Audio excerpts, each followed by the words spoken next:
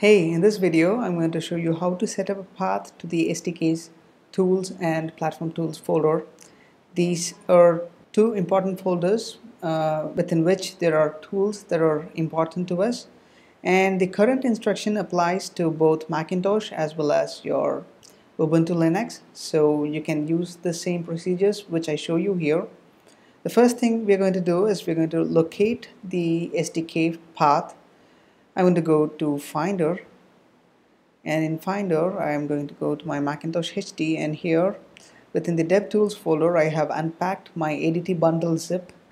And this ADT bundle extracted folder contains the Eclipse and SDK so inside SDK we have this platform tools folder and the tools folder which contains a set of tools that we would be using during Android development so this is the path that we are interested in. Now I'm going to add these folders to the path environmental variable. To do that, I'm going to start my terminal. And here first let me go ahead and get the paths.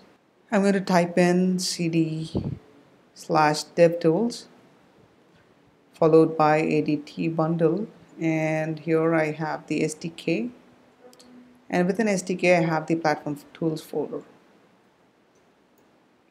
Let me go ahead and type in pwd which will print the working directory and this is the path we are interested in. Let me copy this and here I'm going to use my Vim editor to add these paths to my path in my environmental variable.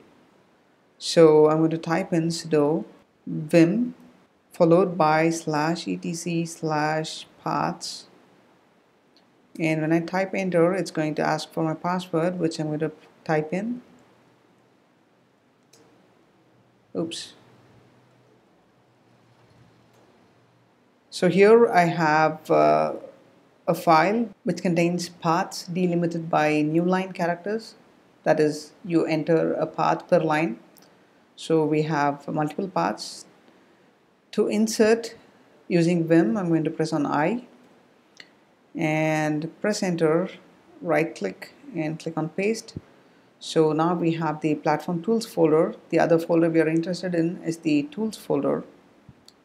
So right click click on paste and here I'm going to delete platform. So I have the platform tools folder and I also have the tools folder.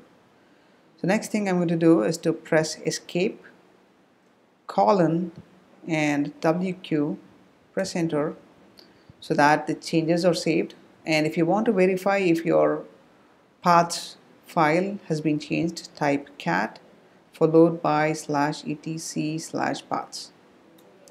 And you should be able to see the platform tools and the tools folder inside the paths folder.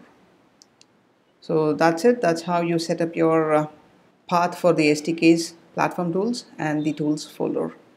That's about it. And if you have any questions, please feel free to ask. Thank you.